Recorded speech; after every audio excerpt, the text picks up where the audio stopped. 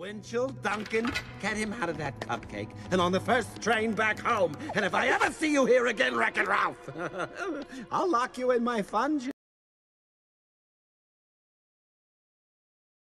Ah!